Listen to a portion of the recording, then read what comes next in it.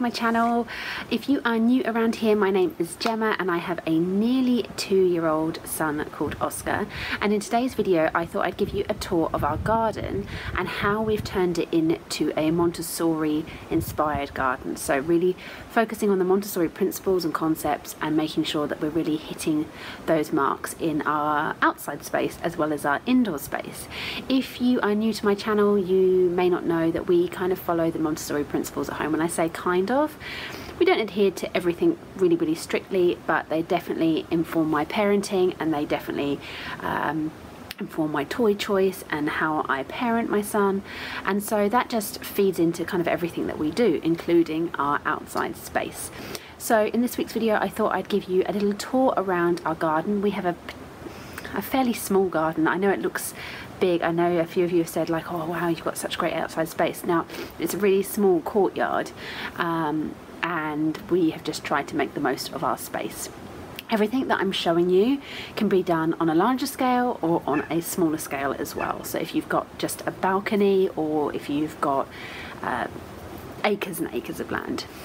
all of these things can be factored into your outside space. I really hope you find it useful and definitely give me a thumbs up and subscribe to my channel if you would like to see more videos like this. The first thing I want to show you is actually just inside the door before you go out into our garden and it's where Oscar gets ready for going outside. So it's really useful to have a little space where they can get ready themselves.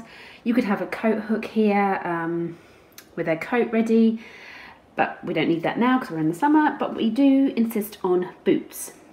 One, because they're more practical for being outside in the mud and he's got water access as well, but also because he can get these on himself. He can hold on to here and hold on to here and able to put his feet in. So I just make sure that they're the right way round and he can uh, put his feet in. There's also a doormat so that he learns to wipe his feet before he comes in and he also knows that he doesn't come in to the house without taking his boots off. Now he does need a little bit of help taking them off but he's pretty good putting them on.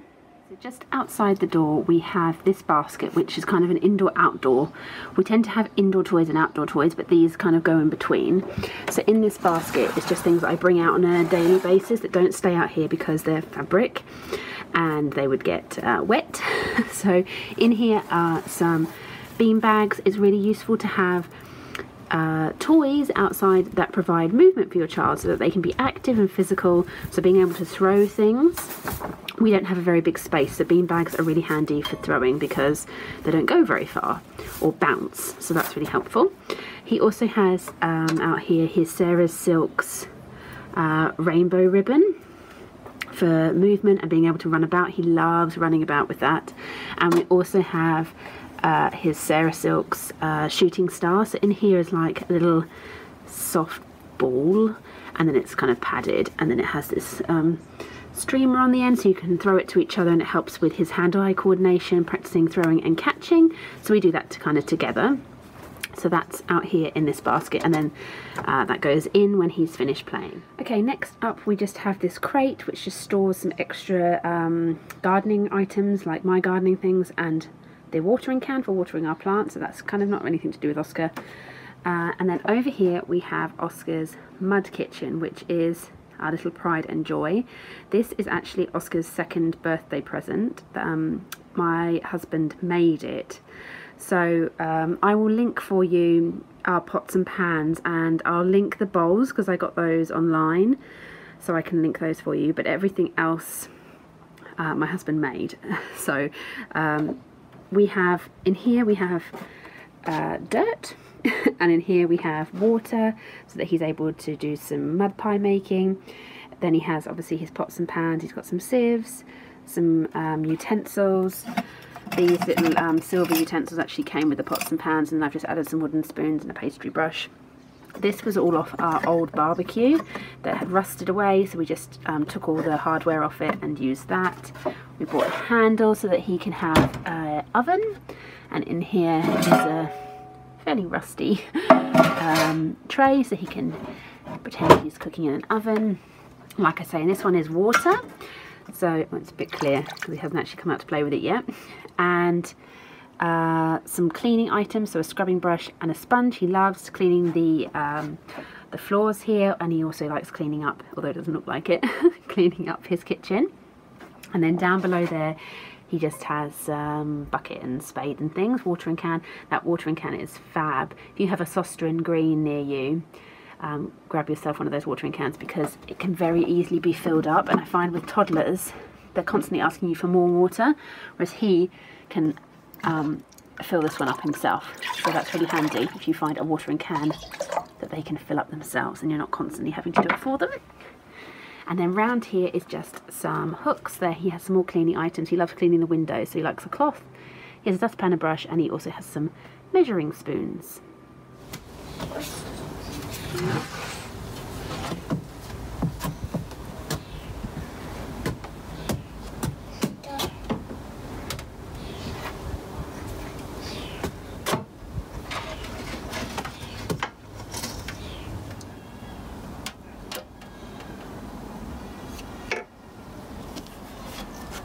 Is a fairly busy area and we are next to the mud kitchen here.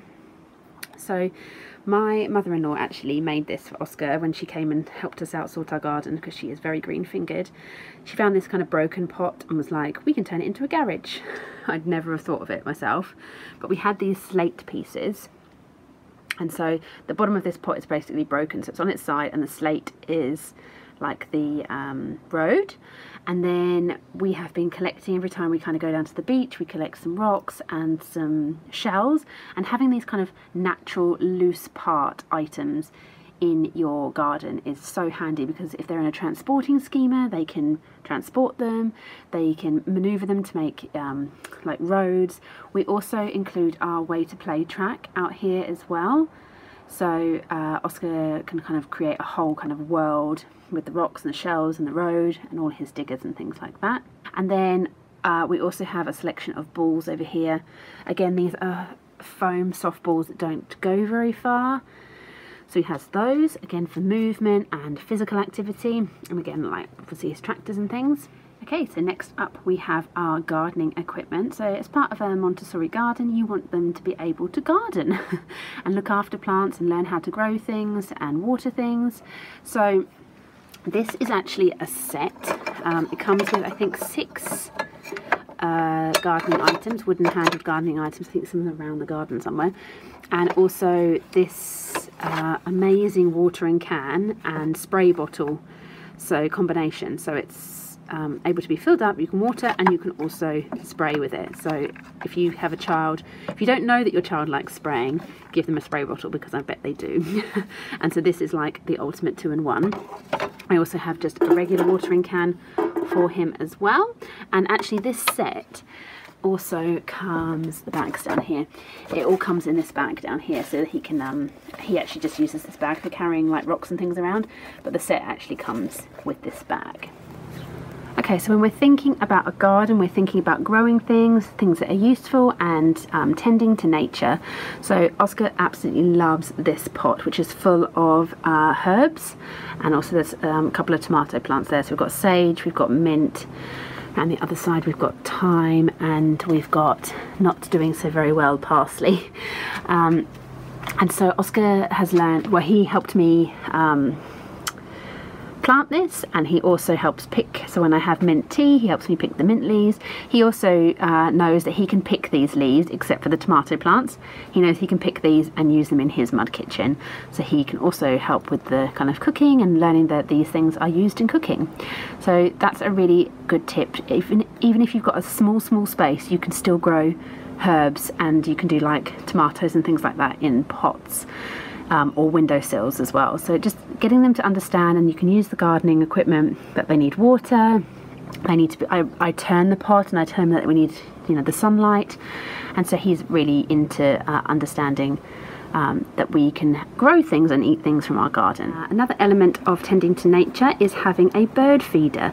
So we have this little bird feeder and we top it up with seed which it needs to be topped up. We actually have discovered that we have a mouse that um, comes down here and has learnt to get in and is stealing all of our seed. So we need to go buy some more because, and we also probably need to move it so that the mouse doesn't get it because our birds um, have been using it as a bit of a lifeline. So Oscar absolutely loves it and his love of birds has come solely from this and then I've got so many books out of the library that have birds in that he just absolutely adores birds now. Okay, so over here we have this kind of space that's got like a planter um, and we've also got our tables and chairs over there and some more plants. Basically down here he has a windmill which he absolutely loves watching the wind, uh, making it turn and he turns it as well. And then down here is just a space for him to be able to dig and use those um, tools as you can see that's what he's been doing here.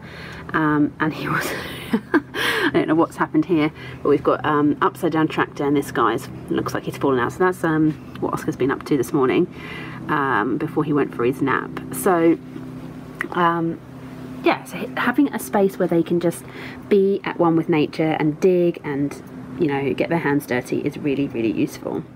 On that note we also have this space over here which is kind of just a bit more natural. Um, when I say natural, it means it hasn't been weeded.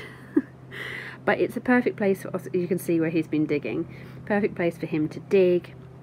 Uh, he also goes down um, down this bit here as well, as you can see all the dirt's over the side. But he absolutely adores having just a space where he's not told, no you can't touch that, no don't dig there. Just having, you know, dedicated space for getting messy.